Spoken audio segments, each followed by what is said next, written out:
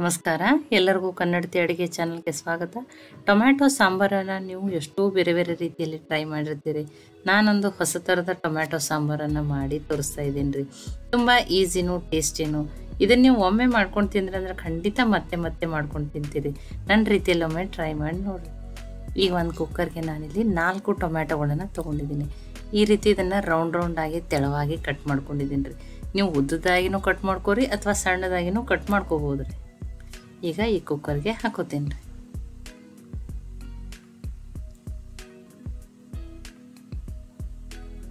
ಇಲ್ಲಿ ನಾನು ಐದು ಮೆಣಸಿನ್ಕಾಯಿನ ತೊಗೊಂಡಿದ್ದೀನಿ. ಖಾರ ನೀವು ನೋಡ್ಕೊಂಡು ಹಾಕೋರಿ. ನಾನಿಲ್ಲಿ ಮೆಣಸಿನ್ಕಾಯಿ ಖಾರನ ಅಷ್ಟೇ ಹಾಕ್ತಾಯಿದ್ದೀನಿ ಮತ್ತು ಯಾವುದೇ ರೀತಿ ಎಕ್ಸ್ಟ್ರಾ ಖಾರ ಹಾಕೋದಿಲ್ಲ ರೀ. ಇಲ್ಲಿ ನಾನು ನೀರನ್ನು ಹಾಕ್ತೀನಿ. ಈಗ ಒಂದು ಗ್ಲಾಸ್ ಹಾಕಿ ಮೇಲೆ ಇನ್ನೊಂದು ಸ್ವಲ್ಪ ನೀರನ್ನು, ಒಂದು ಅರ್ಧ ಬಟ್ಲಾಗಷ್ಟು ಅಷ್ಟು ಹಾಕ್ತೀನಿ ರೀ ನೀರು. ಇದಕ್ಕೆ ಒಂದು ಚಮಚ ಆಗಷ್ಟು ತುಪ್ಪವನ್ನು ಹಾಕ್ತಾಯಿದ್ದೀನಿ ನೀವು ಎಣ್ಣೆನೂ ಹಾಕ್ಬೋದು. ಇದನ್ನು ಮುಚ್ಚಿ ಮೀಡಿಯಮ್ ಫ್ಲೇಮಲ್ಲೇ ನಾನು ಮೂರು ಸೀಟಿಯನ್ನು ತೊಗೋತೀನಿ ರೀ. ನೋಡ್ರಿ, ಈಗ ಮೂರು ಸೀಟಿ ಹಾಕಿ ಕುಕ್ಕರ್ನು ಬಂದದ ರೀ. ನೋಡಿ ಟೊಮ್ಯಾಟೊ ಮೆಣಸಿನ್ಕಾಯಿ ಎಲ್ಲನೂ ಸಾಫ್ಟಾಗಿ ಕುದ್ದವ್ರಿ ಇದನ್ನು ಏನು ಮಾಡ್ತೀನಿ ಟೊಮ್ಯಾಟೊ ಮೆಣಸಿನ್ಕಾಯಿನ ಅಷ್ಟನ್ನೇ ಸಪ್ರೇಟಾಗಿ ಒಂದು ಪ್ಲೇಟ್ನಲ್ಲಿ ತೊಗೋತೀನಿ ರೀ ಆ ಉಳಿದಿರುವ ನೀರನ್ನು ನಾನು ಆಮೇಲೆ ಸಾಂಬಾರ್ಗೆ ಯೂಸ್ ಮಾಡ್ಕೋತೀನಿ ರೀ. ಇದು ಒಂದು ಸ್ವಲ್ಪ ತಾರ್ಲಿ ರೀ. ನೋಡಿ, ಎಲ್ಲವನ್ನು ಹಾಕ್ಕೊಂಡಿದ್ದೀನಿ ತುಂಬ ಬಿಸಿ ಅದ, ಒಂದು ಸ್ವಲ್ಪ ಆರಲಿ ರೀ. ಆರದ್ಮೇಲೆ ಗ್ರೈಂಡ್ ಮಾಡ್ಕೋತೀನಿ ರೀ ಇದನ್ನು. ನೋಡ್ರಿ, ಈಗ ಇದು ಆರ್ಯದ ರೀ. ಈ ಮಿಕ್ಸಿ ಜಾರಿಗೆ ಹಾಕೋತೀನಿ ರೀ.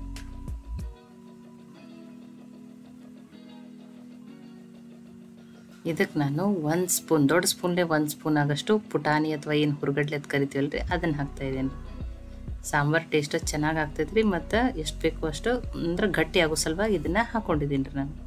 ಅದನ್ನು ಫೈನ್ ಪೇಸ್ಟ್ ಆಗೋರ್ಗು ಗ್ರೈಂಡ್ ಮಾಡ್ಕೊಂಡಿನಿ ರೀ ನೋಡಿ ತುಂಬಾ ಫೈನ್ ಪೇಸ್ಟ್ ಆಗ್ಯದ ರೀ ಇಷ್ಟ ಸಾಕು ರೀ ಈಗ ಇದನ್ನು ಅನ್ಕತಕ್ಕ ಸೈಡಿಗೆ ಇಡ್ತೀನಿ ರೀ ಈಗ ಒಂದು ಕಡಾಯಿಗೆ ಒಂದು ಸ್ಪೂನ್ ಆಗಷ್ಟು ಎಣ್ಣೆನ ಹಾಕ್ತೀನಿ ರೀ ಎಣ್ಣೆ ಕಾಯ್ಲಿ ರೀ ಎಣ್ಣೆ ಕಾಯ್ದ ಮೇಲೆ ಒಂದು ಅರ್ಧ ಸ್ಪೂನ್ ಆಗ ಸಾಸಿವೆ, ಒಂದು ಅರ್ಧ ಸ್ಪೂನ್ ಜೀರಿಗೆ, ಒಂದು ಸ್ವಲ್ಪ ಕರಿಮೇವು ಸೊಪ್ಪು.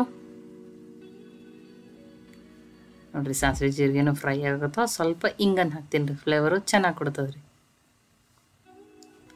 ಆ ಹಿಂಗನ್ನು ಮೀಡಿಯಮ್ ಫ್ಲೇಮಲ್ಲಿ ಇಟ್ಟನೆ ಫ್ರೈ ಮಾಡ್ತೀನಿ ರೀ.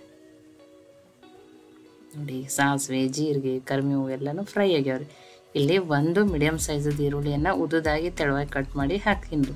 ನೀವು ಸಣ್ಣದಾಗಿ ಕಟ್ ಮಾಡಿ ಹಾಕಿರೋ ನಡೀತದೆ ರೀ.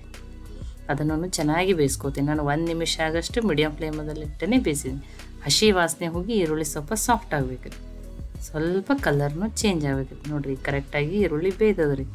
ಒಂದು ಚಿಟಿಕೆ ಅರಿಶಿನ ಒಂದು ಫೋರ್ ಟೀ ಸ್ಪೂನ್ ಆಗಷ್ಟು. ಈರುಳ್ಳಿ ಸಾರಿ ಅರಿಶಿಣನೂ ಎಣ್ಣೆಯಲ್ಲಿ ಹಾಕೋದ್ರಿಂದ ಕಲರು ಚೆನ್ನಾಗಿ ಬರ್ತದೆ ರೀ. ನೋಡಿ, ಅರಿಶಿಣನೂ ಬೇಯಿಸ್ಕೊಂಡಿದ್ದೀನಿ ರೀ ನಾನು. ಈಗ ರುಬ್ಬಿಟ್ಕೊಂಡಿರುವಂಥ ಪೇಸ್ಟನ್ನು ಹಾಕ್ತೇನೆ. ಅದನ್ನು ಸ್ವಲ್ಪ ಎಣ್ಣೆಯಲ್ಲಿ ಬೇಯಿಸ್ಕೊಳ್ಳೋಣ. ನೋಡಿ ಗ್ಯಾಸನ್ನು ಮೀಡಿಯಂ ಫ್ಲೇಮ್ದಲ್ಲೇ ಇಟ್ಟೀನಿ. ಆ ಈರುಳ್ಳಿ ಜೊತೆ ಅದು ಚೆನ್ನಾಗಿ ಬೇಯ್ದದ. ರೀ ಈಗ ಅದೇ ಮಿಕ್ಸಿ ಜಾರಿಗೆ ನಾನು ನೀರನ್ನು ಹಾಕಿ ಹಾಕ್ತಾ ಇದ್ದೀನಿ. ಈ ನೀರನ್ನು ಫಸ್ಟೇ ಮಿಕ್ಸ್ ಮಾಡ್ಕೊಳ್ಳೋಣ. ಸಾಂಬಾರು ನಿಮ್ಗೆ ಎಷ್ಟು ತೆಳು ಬೇಕೋ ಗಟ್ಟಿ ಬೇಕು. ನೀವು ನೋಡಿ ನೀರನ್ನು ಹಾಕೋರಿ. ನೋಡಿರಿ, ಆ ಕುದಿಸಿ ಉಳಿದಿರುವ ನೀರನ್ನು ಹಾಕ್ತೀನಿ ರೀ ನಾನು. ನೋಡಿ, ಈಗ ಅದನ್ನು ಮಿಕ್ಸ್ ಮಾಡ್ತಿದ್ದೀನಿ. ನೋಡಿ ನಾನು ತುಂಬಾ ಗಟ್ಟಿ ಅನ್ಸಕತ್ತದ್ರಿ ಇದು ಸಾಂಬಾರು. ನೋಡಿ ನಿಮಗೆ ಹೆಂಗೆ ಬೇಕು ಆ ರೀತಿ ನೀವು ಮಾಡ್ಕೋರಿ. ನೀರನ್ನು ನೋಡಿ ಹಾಕೋರಿ. ನೋಡಿ, ಇನ್ನೂ ಸಾಂಬಾರು ಗಟ್ಟಿ ಅದ ರೀ. ಒಂದೇ ಸ್ಪೂನ್ ಪುಟಾಣಿ ಹಾಕಿರ ಆಯ್ತು ರೀ. ಸಾಂಬಾರು ತುಂಬಾ ಚೆನ್ನಾಗಿ ಆಗ್ತೈತೆ ರೀ ಮತ್ತು ತಿಕ್ಕನೂ ಆಗ್ತದೆ. ರುಚಿಗೆ ತಕ್ಕಷ್ಟು ಉಪ್ಪನ್ನು ಹಾಕ್ತಾಯಿದ್ದೀನಿ ಒಂದು ಅರ್ಧ ಸ್ಪೂನ್ ಗರಂ ಮಸಾಲ ಹಾಕ್ತಾಯಿದ್ದೀನಿ ಅದನ್ನು ಮಿಕ್ಸ್ ಮಾಡೋಣ. ನೋಡಿರಿ, ಈಗ ಮಿಕ್ಸ್ ಆಗಿದೆ ತುಂಬ ತೆಳುವೂ ಮಾಡಲ್ಲ, ತುಂಬ ಗಟ್ಟಿನೂ ಮಾಡಿಲ್ಲ. ಆ ರೀತಿ ಮಾಡ್ಕೊಂಡಿದ್ದೀನಿ ರೀ. ಒಂದು ಸ್ವಲ್ಪ ಹುಳಿ ಹೇಳಿ ಬೆಲ್ಲ ಹಾಕ್ಕೊಂಡಿದ್ದೀನಿ ಇಲ್ಲ ನಮ್ಮ ಹುಳಿ ಹುಳಿನೇ ಇಷ್ಟ ಅಂದರೆ ನೀವು ಬೆಲ್ಲನೂ ಸ್ಕಿಪ್ ಮಾಡ್ಬೋದು. ಒಂದು ಸ್ವಲ್ಪ ತೊಳೆದು ಕಟ್ ಮಾಡಿಟ್ಕೊಂಡು ಅಂತ ಕೊತ್ತಂಬರಿ ಸೊಪ್ಪು. ಅದನ್ನು ಮಿಕ್ಸ್ ಮಾಡ್ಕೋತೀನಿ ರೀ. ಈಗಿದು ಒಂದು ಐದು ನಿಮಿಷ ಕುದಿಲಿ ರೀ. ಹೈ ಫ್ಲೇಮಲ್ಲಿ ಇಟ್ಟನೆ ಐದು ನಿಮಿಷ ಕುದಿಸ್ತೀನಿ ರೀ. ನೋಡಿ ಚೆನ್ನಾಗಿ ಕುದಿಯಾಕತ್ತದ ರೀ ಐದು ನಿಮಿಷ ಆಗ್ಯದ ರೀ ನೋಡಿ ಸಾರು ಚೆನ್ನಾಗಿ ಕುದ್ದ ಗ್ಯಾಸನ್ನು ಆಫ್ ಮಾಡ್ತೀನಿ ರೀ. ಬಿಸಿ ಬಿಸಿ ಆಗಿರುವಂಥ ಟೊಮ್ಯಾಟೊ ಸಾಂಬಾರು ರೆಡಿ ಆಗ್ಯದ್ರಿ. ಇಲ್ಲೇನು ಬೇಳೆ ಕೊಸೋ ಟೆನ್ಷನ್ ಬೇಡ. ಬೇಗನೆ ಇದನ್ನು ನಾವು ಮಾಡ್ಕೋಬೋದು. ಇದು ಇಡ್ಲಿ ಜೊತೆ, ದೋಸೆ ಜೊತೆ, ಅನ್ನಕ್ಕೆ, ಮುದ್ದೆ ಜೊತೆ ಎಲ್ಲದಕ್ಕೂ ಬೆಸ್ಟ್ ಕಾಂಬಿನೇಷನ್ ರೀ ಇದು. ಈ ಸಾಂಬಾರು ನಿಮ್ಗೆ ಇಷ್ಟ ಆಗಿತ್ತಂದ್ರೆ ಲೈಕ್ ಮಾಡಿ ನಿಮ್ಮ ಫ್ರೆಂಡ್ಸ್ಗೆಲ್ಲ ಶೇರ್ ಮಾಡಿರಿ. ಇದನ್ನು ಟ್ರೈ ಮಾಡಿ ಖಂಡಿತನೂ ಕಮೆಂಟ್ ಮಾಡಿರಿ. ಹಾಯ್ ಫ್ರೆಂಡ್ಸ್ ಎಲ್ಲರಿಗೂ ಕನ್ನಡತಿ ಅಡುಗೆ ಚಾನಲ್ಗೆ ಸ್ವಾಗತ. ಇವತ್ತು ನಾನೊಂದು ಹೊಸ ಥರದ ಸಾಂಬಾರನ್ನು ಹೇಳ್ತಾ ಇದ್ದೀನಿ. ಇಲ್ಲಿ ಬೇಳೆ ಕುದಿಸೋದು ಯಾವುದೂ ಇಲ್ಲ. ನೀವು ಅತಿ ಕಡಿಮೆ ಸಮಯದಲ್ಲಿ ಕಡಿಮೆ ಇಂಗ್ರೀಡಿಯೆಂಟ್ಸ್ಗಳನ್ನು ಬಳಸಿ ತುಂಬ ಟೇಸ್ಟಿಯಾಗಿ ಈ ಸಾಂಬಾರನ್ನು ನಾನು ನಿಮಗೆ ಮಾಡಿ ತೋರಿಸ್ತಾ ಇದ್ದೀನಿ. ನನ್ನ ಸ್ಟೈಲಲ್ಲಿ ಒಮ್ಮೆ ಇದನ್ನು ನೀವು ಖಂಡಿತನೂ ಟ್ರೈ ಮಾಡಿ ನೋಡಿ. ಈಗ ಒಂದು ಕುಕ್ಕರ್ಗೆ ನಾನು ನಾಲ್ಕು ಟೊಮ್ಯಾಟೋನ ಕಟ್ ಮಾಡಿ ಹಾಕ್ತಾ ಇದ್ದೀನಿ. ನೀವು ಸಣ್ಣದಾಗಿನೂ ಕಟ್ ಮಾಡಿ ಹಾಕ್ಬೋದು. ಒಂದು ಮೂರು ಹಸಿಮೆಣಸಿನ್ಕಾಯಿ ಹಾಕ್ತಾ ಇದ್ದೀನಿ. ಖಾರ ನೀವು ನೋಡಿಕೊಂಡು ಹಾಕೋಬಹುದು ಒಂದು ಈರುಳ್ಳಿಯನ್ನು ಕಟ್ ಮಾಡಿ ಹಾಕ್ತಾ ಇದ್ದೀನಿ. ಇದಕ್ಕೆ ಎರಡು ಬಟ್ಲಾಗಷ್ಟು ನಾನಿಲ್ಲಿ ನೀರನ್ನು ಹಾಕ್ತಾ ಇದ್ದೀನಿ.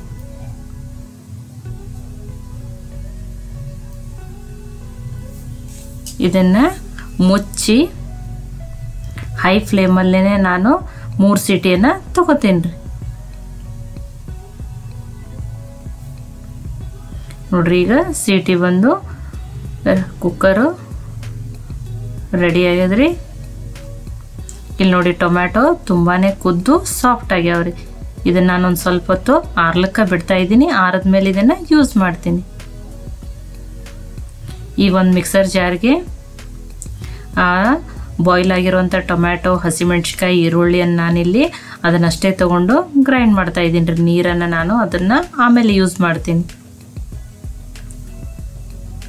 ನೋಡಿ, ಇದನ್ನು ಈಗ ಫೈನ ಪೇಸ್ಟ್ ಆಗೋವರೆಗೂ ನಾನು ಇದನ್ನು ಗ್ರೈಂಡ್ ಮಾಡ್ಕೋತೀನಿ ರೀ.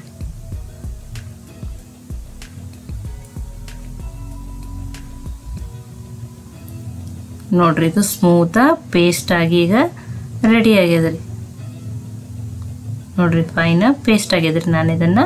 ಆಮೇಲೆ ಯೂಸ್ ಮಾಡ್ತೀನಿ ರೀ ಈಗ ಒಂದು ಕಡಾಯಿನ ನಾನು ಆಲ್ರೆಡಿ ಕಾಯಕ್ಕಿಟ್ಟಿದ್ದೆ ಆ ಕಡಾಯಿಗೆ ಎರಡು ಸ್ಪೂನ್ ಆಗೋಷ್ಟು ಆಯಿಲು ಸಣ್ಣ ಸ್ಪೂನಿಂದ ಒಂದು ಸ್ಪೂನ್ ಆಗೋಷ್ಟು ಸಾಸಿವೆ, ದೊಡ್ಡ ಸ್ಪೂನ್ ಇದ್ರೆ ನೀವು ಅರ್ಧ ಸ್ಪೂನು ಹಾಕ್ಬೋದು.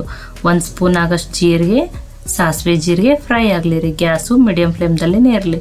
ಒಂದು ಒಣಮೆಣಸಿನ್ಕಾಯಿನ ಒಗ್ಗರಣೆಗೆ ಹಾಕ್ತಾ ಇದ್ದೀನಿ.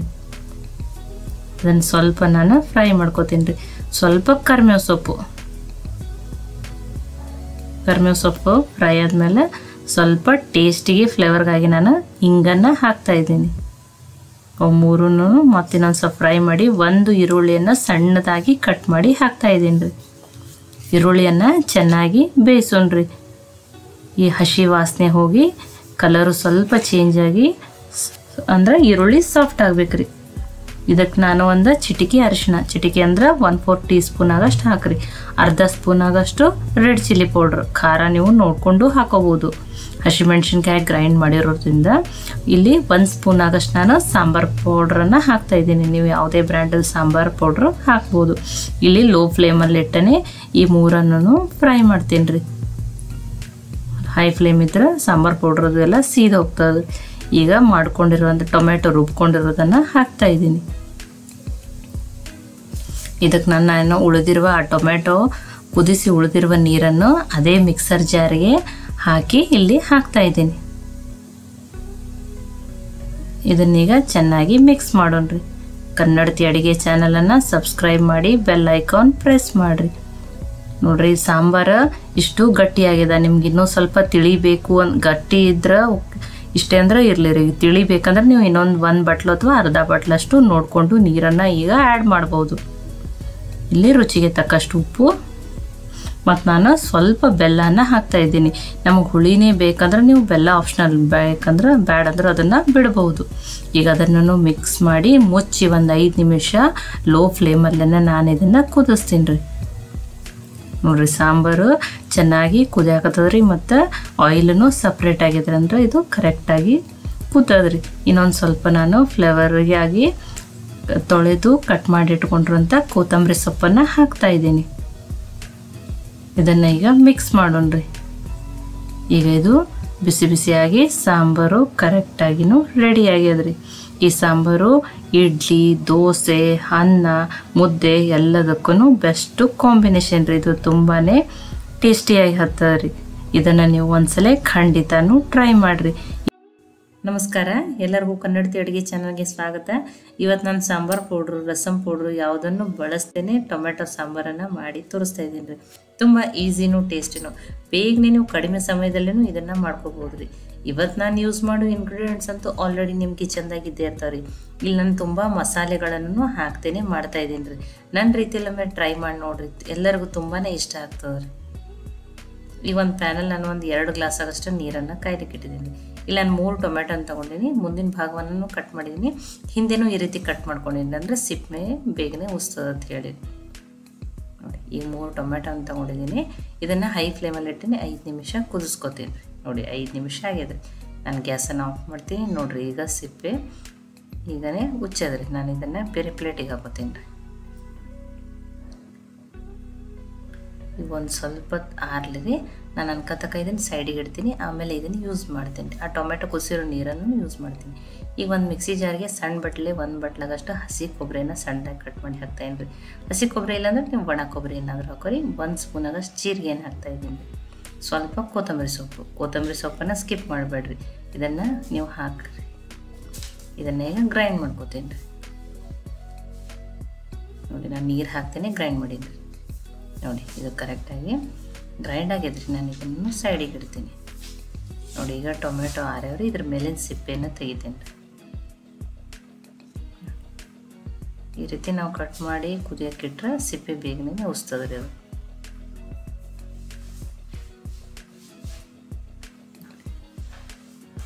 ಮೂರು ಟೊಮ್ಯಾಟೊದ ಸಿಪ್ಪೆನ ತಗೊಂಡಿದ್ದೀನಿ. ರೀ ಈಗ ನಾನು ಮ್ಯಾಶರ್ ತೊಗೋತೀನಿ, ಅದರಲ್ಲಿ ಈ ರೀತಿ ಆ ಟೊಮೆಟೊಗಳನ್ನ ಮ್ಯಾಶ್ ಮಾಡ್ಕೋತೀನಿ ರೀ. ಇಲ್ಲ, ನೀವು ಮಿಕ್ಸಿಗೆ ಹಾಕೋತಿದ್ರೆ ಮಿಕ್ಸಿಗೂ ಹಾಕೋಬೋದು ಮಿಕ್ಸಿಗೆ ಹಾಕ್ಕೊಂಡು ಗ್ರೈಂಡು ಮಾಡ್ಕೋಬೋದು. ನಾನು ಮ್ಯಾಶರ್ಲೇ ಮಾಡ್ಕೊಂಡಿದ್ದೀನಿ, ತುಂಬ ಚೆನ್ನಾಗಿ ಕುದ್ದವು ಟೊಮ್ಯಾಟೊನ ನೋಡಿ ಈಗ ಇದು ರೆಡಿ ಆಗಿದೆ ಈಗ ಒಂದು ಕಡಾಯಿಗೆ ನಾನು ಎರಡು ಸ್ಪೂನಾಗಷ್ಟು ಎಣ್ಣೆನ ಹಾಕ್ತಾಯಿದ್ದೀನಿ ರೀ, ಸಣ್ಣ ಸ್ಪೂನಿಂದನೇ. ದೊಡ್ಡ ಸ್ಪೂನ್ ಇದ್ರೆ ಒಂದು ಸ್ಪೂನ್ ಹಾಕಿ ಎಣ್ಣೆ ಕಾಯ್ದ್ಮೇಲೆ ಒಂದು ಅರ್ಧ ಸ್ಪೂನಾಗ ಸಾಸಿವೆ ಸಾಸಿವೆ ಫ್ರೈ ಆಗಲಿ ರೀ. ಸಾಸಿವೆ ಫ್ರೈ ಆದಮೇಲೆ ಒಂದು ಎಂಟರಿಂದ ಒಂಬತ್ತು ಬೆಳ್ಳುಳ್ಳಿ ಸಣ್ಣ ಕುಟ್ಟಿ ಹಾಕ್ತಾಯಿದ್ದೀನಿ ಬೆಳ್ಳುಳ್ಳಿ ಸೊಪ್ಪು ಜಾಸ್ತಿ ಹಾಕಿರಿ, ಟೇಸ್ಟ್ ಚೆನ್ನಾಗಿ ಬರ್ತದೆ ರೀ ಟೊಮೆಟೊ ಸಾರಿ ಸ್ವಲ್ಪ ಕರಿಬೇವು ಸೊಪ್ಪು. ಈಗ ಫ್ರೈ ಮಾಡೋಣ. ತುಂಬ ಕಲರ್ ಚೇಂಜ್ ಆಗೋವರೆಗೇನು ಬೆಳ್ಳುಳ್ಳಿನ ಫ್ರೈ ಮಾಡಲ್ಲ ರೀ ಸ್ವಲ್ಪನೇ ಫ್ರೈ ಮಾಡ್ಕೋತೀನಿ ಅದರ ಹಸಿ ಅಂಶ ಹೋದ್ರೆ ಸಾಕು. ಸ್ವಲ್ಪ ಇಂಗನ್ ಹಾಕ್ತೀನಿ ರೀ. ಟೇಸ್ಟ್ ಚೆನ್ನಾಗಿ ಬರ್ತದೆ. ಲೋ ಫ್ಲೇಮಲ್ಲಿ ಇಟ್ಟನೆ ಇಂಗನ್ ಬೇಯಿಸ್ತೀನಿ ರೀ. ಅದರದ್ದು ಸೀದ್ ಹೋಗ್ತದೆ. ನೋಡಿ, ಈಗ ಅದಾದಮೇಲೆ ಹರುಬಿಟ್ಕೊಂಡಿರುವಂಥ ಕೊಬ್ಬರಿ, ಜೀರಿಗೆ, ಕೊತ್ತಂಬರಿಯನ್ನು ಹಾಕೋತಾ ಇದ್ದೀನಿ ಇದು ಹಸಿ, ಅಂದರೆ ಇದೆಲ್ಲ ರುಬ್ಕೊಂಡಿರೋದು ಹಸಿ ಇರೋದ್ರಿಂದ ಒಂದು ಸ್ವಲ್ಪ ಒಂದು ನಿಮಿಷ ಆಗಷ್ಟೇ ಮೀಡಿಯಮ್ ಫ್ಲೇಮಲ್ಲಿ ಇಟ್ಟೇ ಬೇಯಿಸ್ಕೋತೀನಿ ರೀ. ನೋಡಿ, ಈಗ ಇದು ಬೇಯ್ದ ಬೇಯ್ದ್ಮೇಲೆ ಒಂದು ಚಿಟಿಕೆ ಅರಿಶಿನ, ಒಂದು ಫೋರ್ ಟೀ ಸ್ಪೂನ್ ಆಗಷ್ಟು ಒಂದು ಸ್ವಲ್ಪ ಬೇಯಿಸ್ಕೊಂಡಿದ್ದೀನಿ. ಇದನ್ನು ಲೋ ಫ್ಲೇಮಲ್ಲಿ ಇಟ್ಟನೆ ಬೇಯಿಸಿರಿ ಜರ ಕೊಬ್ಬರಿ ಅದನ್ನು.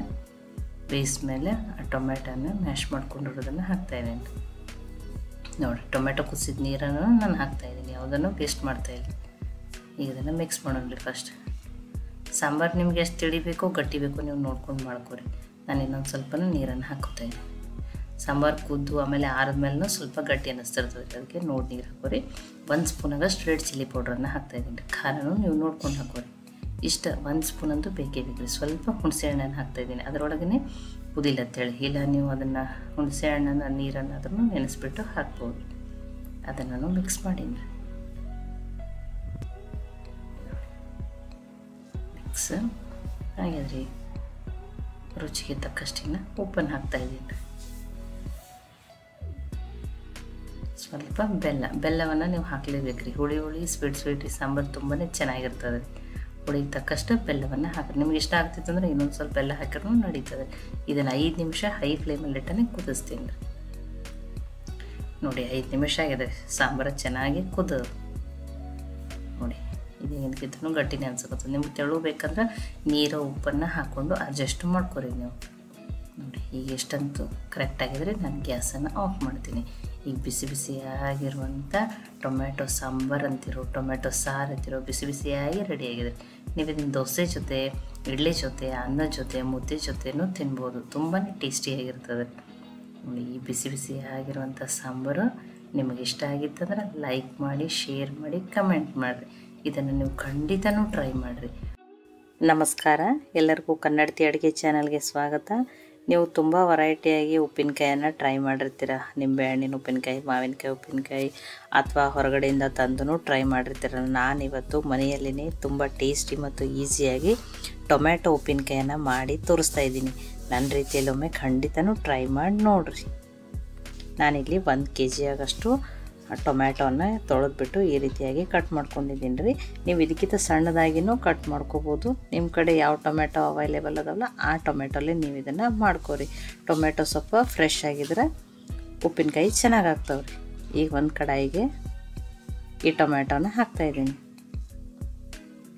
ಇವನ್ನ ಹಾಕಿ ನಾನು ಮುಚ್ಚಿ ಲೋ ಫ್ಲೇಮಲ್ಲೇ ಹತ್ತು ನಿಮಿಷ ಬೇಯಿಸ್ತೇನೆ ರೀ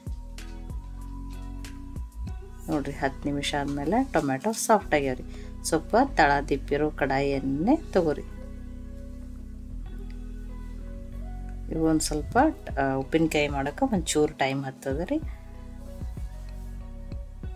ಅಂದರೆ ಟೊಮ್ಯಾಟೊ, ಹಸಿ ಅಂಶ ಏನೂ ಉಳಿಲಾರ್ದಂಗೆ ಇದನ್ನು ಚೆನ್ನಾಗಿ ಬೇಯಿಸ್ಕೋಬೇಕ್ರಿ. ನೋಡಿ, ಈಗ ಸ್ವಲ್ಪ ಟೊಮ್ಯಾಟೊ ಸಾಫ್ಟ್ ಆಗ್ಯಾವ್ರಿ ನಾನು ಇದನ್ನು ಇನ್ನೂ ಮುಚ್ಚಿ ಮತ್ತು ಐದು ನಿಮಿಷ ಲೋ ಫ್ಲೇಮಲ್ಲಿನೇ ಬೇಯಿಸ್ತೀನಿ ರೀ. ಈಗ ಐದು ನಿಮಿಷ ಆದಮೇಲೆ ಇನ್ನೊಂದು ಸ್ವಲ್ಪ ನೀರು ಬಿಟ್ಕೊಂಡು ಮತ್ತಿಷ್ಟು ಸಾಫ್ಟ್ ಆಗಿರ್ತಾವೆ. ನೋಡಿ, ಈಗ ಸಾಫ್ಟ್ ಆದಮೇಲೆ ನಾನಿಲ್ಲಿ ಒಂದು ಸಣ್ಣ ನಿಂಬೆ ಗಾತ್ರದಷ್ಟು ಹುಣಸೆ ಹಣ್ಣನ್ನು ತೊಗೊಂಡು ನೆನೆಸಿಟ್ಟಿದ್ದೆ ರೀ ಅದನ್ನೀಗ ಅದರ ರಸವನ್ನು ಹಾಕ್ತಾಯಿದ್ದೀನಿ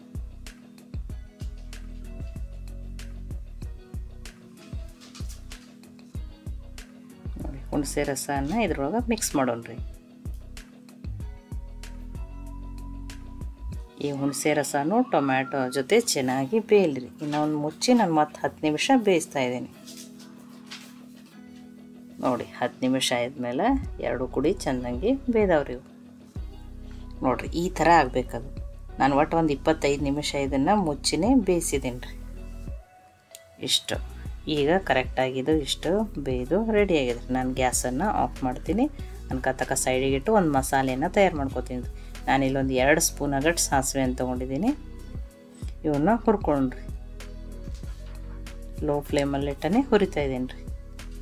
ಸ್ವಲ್ಪ ಸಾಸಿವೆ ಚಟಪಟ ಅಂದು ಚೆನ್ನಾಗಿ ಹುರಿಬೇಕು ರೀ ನೋಡಿರಿ, ಈಗ ಕಲರ್ ಚೇಂಜ್ ಆಗಿ ಚಟಪಟ ರೀ ಇವನ್ನ ನಾನೀಗ ಡೈರೆಕ್ಟಾಗಿ ಮಿಕ್ಸರ್ ಜಾರಿಗೆನೆ ಹಾಕೋತಾ ಇದ್ದೀನಿ. ಈಗ ಪ್ಯಾನ್ಗೆ ಒಂದು ಸ್ಪೂನ್ ಆಗಷ್ಟು ಅನ್ನ ತೊಗೊಂಡಿದ್ದೀನಿ. ಅವನ್ನೂ ಹುರ್ಕೊಳ್ಳೋಣ್ರಿ. ಕೆಂಪಗಾಗೋವರೆಗೂ ಹುರಿಬೇಕ್ರಿ. ಮೆಂತ್ಯ ಕೆಂಪಗಾದಷ್ಟು ಫ್ಲೇವರ್ ತುಂಬಾ ಚೆನ್ನಾಗಿ ಕೊಡ್ತದೆ. ನೋಡಿ, ಈ ಥರ ಕೆಂಪಗಾಗ್ಯಾವ್ರಿ ಇವು ಇದನ್ನು ಈಗ ಮಿಕ್ಸರ್ ಜಾರ್ಗೆ ಹಾಕೋತೀನಿ ರೀ. ಇವು ಆರಿದ್ಮೇಲೆ ನಾನು ಗ್ರೈಂಡ್ ಮಾಡ್ಕೋತೀನಿ. ತುಂಬ ಫೈನ್ ಪೌಡ್ರ್ ಅಲ್ಲ, ಸ್ವಲ್ಪ ತರಿ ತರಿಯಾಗಿಯೇ ಪೌಡ್ರ್ ಮಾಡ್ಕೊಂಡಿರ್ತೀನಿ ರೀ. ಈಗ ಒಂದು ಪ್ಯಾನ್ಗೆ ಒಂದು ನಾಲ್ಕು ಸ್ಪೂನ್ ಆಗಷ್ಟು ಎಣ್ಣೆಯನ್ನು ಹಾಕ್ತಾಯಿದ್ದೀನಿ ಎಣ್ಣೆ ಕಾಯಿಲಿ ಎಣ್ಣೆ ಕಾಯ್ದ್ಮೇಲೆ ಇನ್ನೊಂದು ಅರ್ಧ ಸ್ಪೂನ್ ಆಗಷ್ಟು ಸಾಸಿವೆ ಹಾಕ್ತಾಯಿದ್ದೀನಿ ಇನ್ನೊಂದು ಸ್ವಲ್ಪ ಮೆಂತ್ಯ ಒನ್ ಫೋರ್ತ್ ಟೀ ಸ್ಪೂನ್ ಆಗಷ್ಟು. ಅವನು ಫ್ರೈ ಮಾಡೋಣ ರೀ ಮೆಂತ್ಯ ಕಾಳು ಅವನು ಕೆಂಪಗಾಗಲಿ ರೀ. ಇಲ್ಲೊಂದು ಹದಿನೈದರಿಂದ ಹದಿನೆಂಟು ಬೆಳ್ಳುಳ್ಳಿ ಹೆಸರುಗಳನ್ನ ಹಾಕ್ತಾಯಿದ್ದೀನಿ ಒಂದು ಎರಡು ಒಣ ಮೆಣಸಿನ್ಕಾಯಿ ಸ್ವಲ್ಪ ಕರಿಮೇವು ಸೊಪ್ಪು ಅವನು ಫ್ರೈ ಮಾಡೋಣ ಬೆಳ್ಳುಳ್ಳಿ ನೀವು ಬೇಕಾದ್ರೆ ಕುಟ್ಟಿನೂ ಹಾಕ್ಬೋದು. ತುಂಬ ಕಲರ್ ಏನು ಚೇಂಜ್ ಆಗೋದು ಬೇಡ. ಬೆಳ್ಳುಳ್ಳಿದ ಇಷ್ಟ ಫ್ರೈ ಆದ್ರೆ ಸಾಕ್ರಿ ಈಗ ಹಿಂಗನ್ನು ಹಾಕ್ತಾಯಿದ್ದೀನಿ ಇದನ್ನು ಗ್ಯಾಸನ್ನು ಆಫ್ ಮಾಡಿನೇ ಹಾಕ್ತಾಯಿದ್ದೀನಿ ಒಂದು ಚಿಟಿಕೆ ಅರಿಶಿಣ. ಈಗ ಎಣ್ಣೆನೂ ತುಂಬ ಕಾಯ್ದದ್ರಿ ಅಷ್ಟರಾಗೆ ಇವು ಫ್ರೈ ಆಗ್ತಾವ್ರಿ. ಇಲ್ಲಾಂದ್ರೆ ಮತ್ತೆ ಸೀದ್ ಹೋಗ್ತಾವ್ರಿ. ಇದಕ್ಕೆ ನಾನು ಎರಡೂವರೆ ಸ್ಪೂನ್ ಆಗಷ್ಟು ರೆಡ್ ಚಿಲ್ಲಿ ಪೌಡ್ರನ್ನು ಹಾಕ್ತಾಯಿದ್ದೀನಿ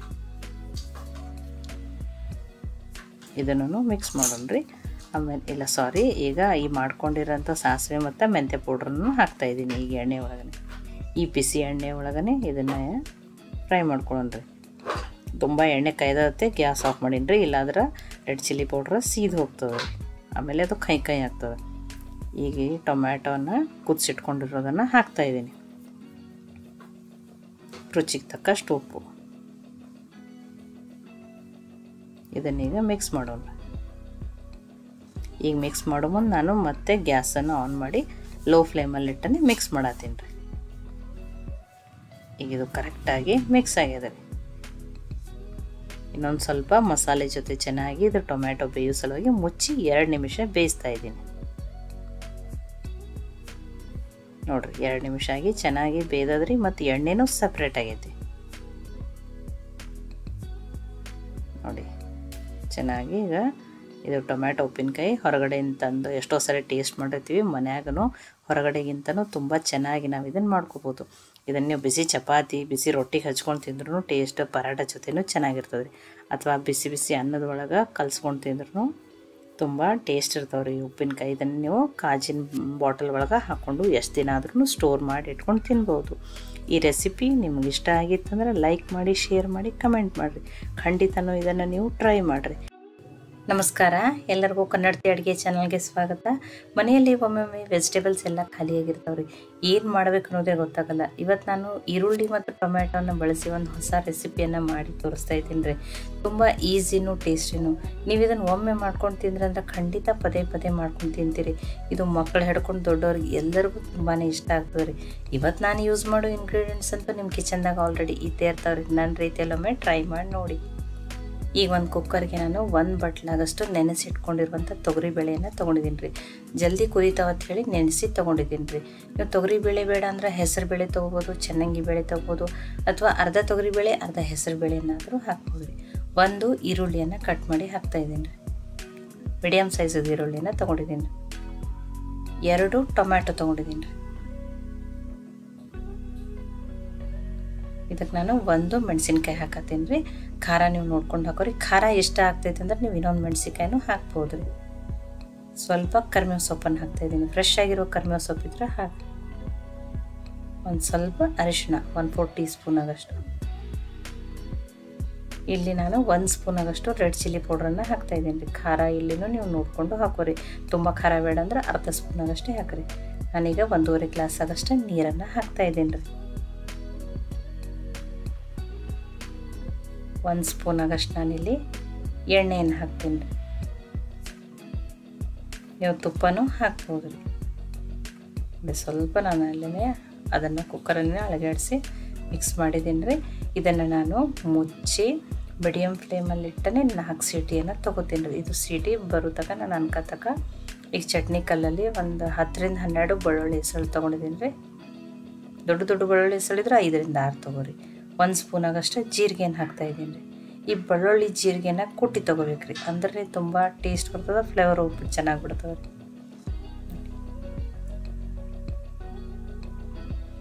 ನೋಡಿ ಇದನ್ನು ಮಾತ್ರ ಸ್ಕಿಪ್ ಮಾಡಬೇಡ್ರಿ. ಇದನ್ನು ಇದೇ ಥರ ಮಾಡಿನೇ ನೀವು ಈ ರೆಸಿಪಿಯನ್ನು ಮಾಡಿರಿ. ನೋಡಿ, ಬೆಳ್ಳುಳ್ಳಿ ಜೀರಿಗೆ ಕುಟ್ಕೊಂಡಿದ್ದೀನಿ ನೋಡಿ, ಈ ಥರ ಈಗ ಇದು ಪೇಸ್ಟ್ ರೆಡಿ ಆಗ್ಯದ ರೀ.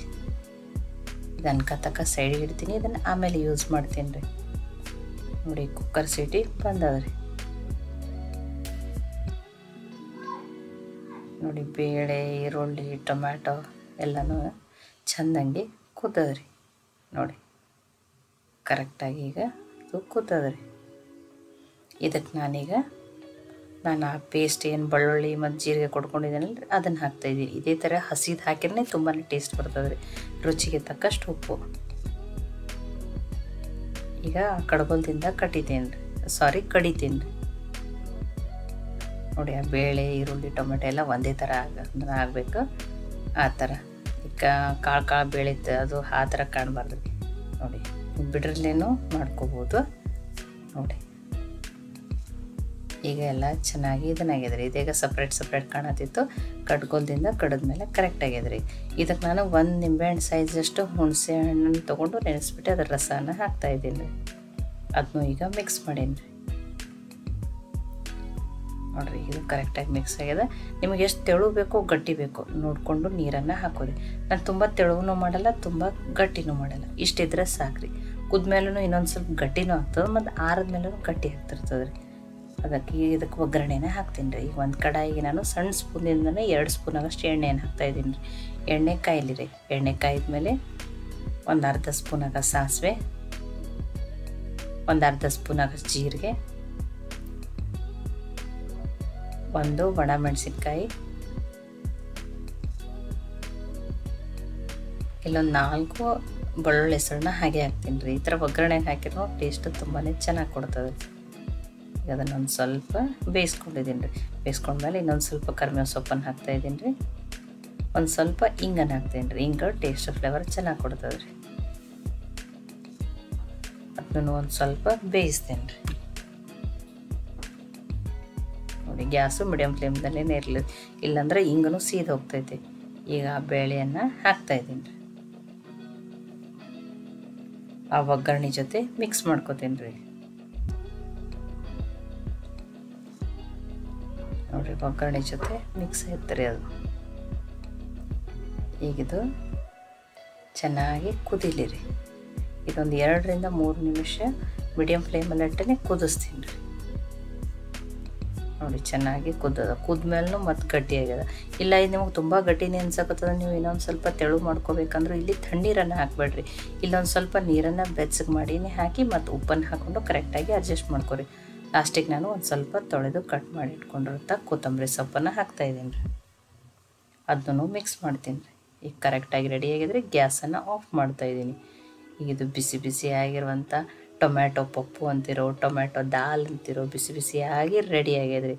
ಇದು ಬಿಸಿ ಅನ್ನ, ಮುದ್ದೆ, ಇಡ್ಲಿ, ದೋಸೆ, ರಾಗಿ ರೊಟ್ಟಿ, ಅಕ್ಕಿ ರೊಟ್ಟಿ, ಬಿಸಿ ಬಿಸಿ ಚಪಾತಿ ಜೊತೆ ಬೆಸ್ಟು ಕಾಂಬಿನೇಷನ್ ರೀ. ಇದ್ರ ಮೇಲೆ ನೀವು ಇನ್ನೊಂದು ಸ್ಪೂನ್ ಆಗಷ್ಟು ಅನ್ನದ ಮೇಲೆ ಹಾಕೊಂಡ್ರು ಒಂದು ಸ್ಪೂನ್ ಆಗಷ್ಟು ತುಪ್ಪ ಹಾಕೊಂಡು ತಿಂದ್ರೆ ತುಂಬಾ ಟೇಸ್ಟಿಯಾಗಿರ್ತದೆ ರೀ. ಈ ರೆಸಿಪಿ ನಿಮ್ಗೆ ಇಷ್ಟ ಆಗಿತ್ತಂದ್ರೆ ಲೈಕ್ ಮಾಡಿ ಶೇರ್ ಮಾಡಿ ಕಮೆಂಟ್ ಮಾಡಿರಿ. ಖಂಡಿತ ಟ್ರೈ ಮಾಡಿರಿ. ಮತ್ತೆ ಒಳ್ಳೆ ಒಳ್ಳೆ ರೆಸಿಪಿ ಜೊತೆ ಸಿಗೋಣ. ಎಲ್ಲರಿಗೂ ಧನ್ಯವಾದಗಳು. ಕನ್ನಡತಿ ಅಡುಗೆ ಚಾನಲನ್ನು ಸಬ್ಸ್ಕ್ರೈಬ್ ಮಾಡಿ ಬೆಲ್ ಐಕಾನ್ ಪ್ರೆಸ್ ಮಾಡೋದನ್ನು ಮರಿಬೇಡ್ರಿ.